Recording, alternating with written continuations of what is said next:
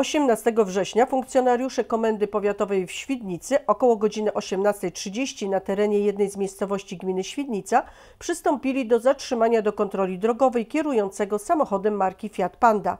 Kierujący tym pojazdem zignorował podawany sygnał i rozpoczął ucieczkę, którą kontynuował na terenie powiatu dzierżoniowskiego, gdzie ostatecznie porzucił samochód we wsi Piskorzów.